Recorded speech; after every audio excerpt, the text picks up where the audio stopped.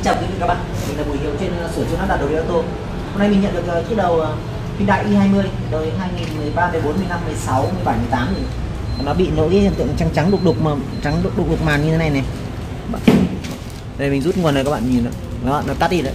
đúng rồi Đối với cái với những cái chiếc đầu uh, Hyundai i20, i10, Elantra, con Elantra đây, con i20 con i10 đây nó hay bị những cái hiện tượng như thế này nó trắng màn đen màn không lên nguồn uh, chập chờn không bắt được bluetooth không điều khiển được các phím không cảm ứng được uh, màn hình xanh hoặc là chuyển sang VCE mà có dấu cộng ở giữa này để căn để cảm ứng.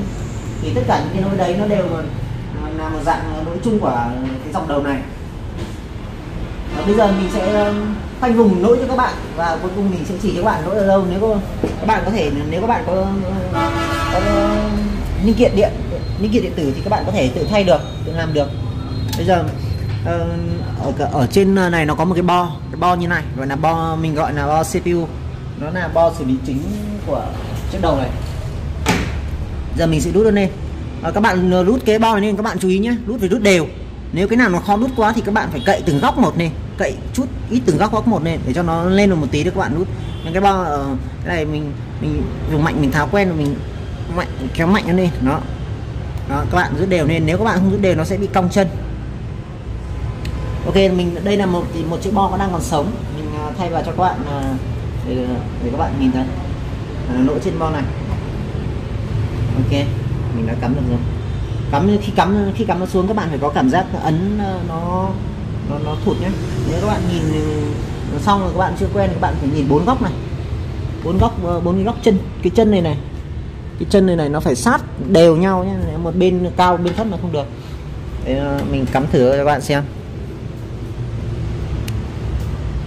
Cái cái này cắm cắm nguồn vào nó tự động lên nhé các bạn không phải ấn nguồn. Ok.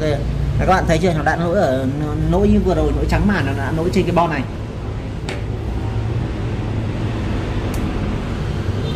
Ok. Cái ngon này. Bây giờ mình sẽ ờ, chỉ cho các bạn ờ, biết là nó lỗi ở trên cái bên này nó lỗi ở vị trí nào. Thì ở trên cái bên này nó chỉ lỗi một là chipset hai là chương trình thôi. Nó chỉ lỗi một trong hai con này hoặc là một số trường hợp lỗi cả hai số lỗi lỗi cả hai cũng ít.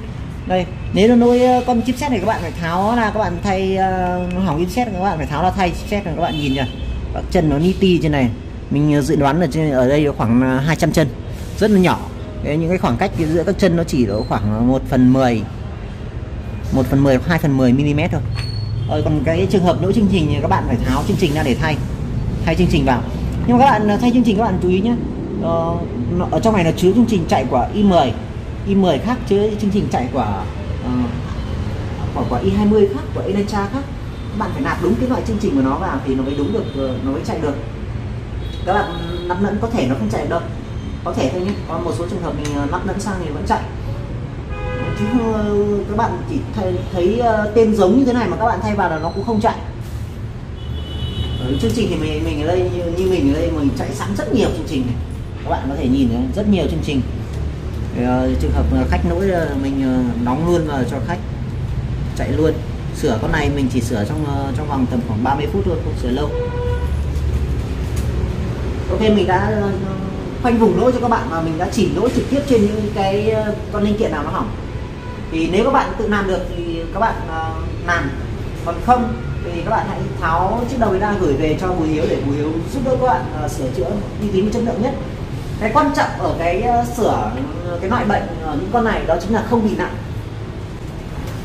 Đến bây giờ rất nhiều thợ có thể làm được rồi nhưng mà chỉ được tầm khoảng hai ba tháng nên cùng lắm đến nửa năm là hầu như lỗi này hết. Và mình trước kia cũng thế trước kia một năm trước mình làm nó hầu như lỗi lại cỡ khoảng 50 60 phần trăm.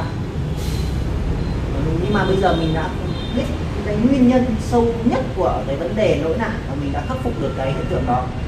Nếu các bạn không ờ, tìm được nơi sửa chữa uy tín và chất lượng thì hãy gửi chiếc đầu này về cho mình.